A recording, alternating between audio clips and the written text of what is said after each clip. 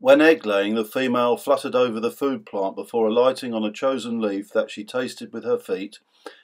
and if suitable, closed her wings and commenced egg laying at a rate of four eggs per minute, moving her abdomen away from the leaf surface as each egg was laid and before the next was ready to be deposited. Eggs were laid on either surface of a leaf, typically in groups of between 25 and 150, and a female might also lay up to 600 eggs in total.